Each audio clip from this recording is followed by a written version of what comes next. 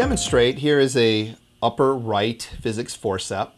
Has a beak, which has a flattened rounded tip and a bumper. The bumper is disposable.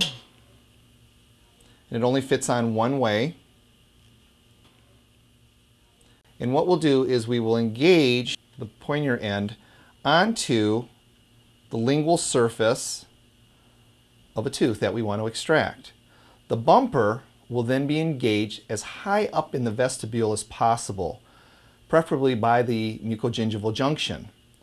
Now, I'm going to use just two fingers here, and I'm simply rotating my wrist, rotating my wrist, no arm pressure, no forearm pressure, rotating my wrist, and it may take a minute or two, and that's probably the hardest thing for dentists to understand, and the tooth will pop out.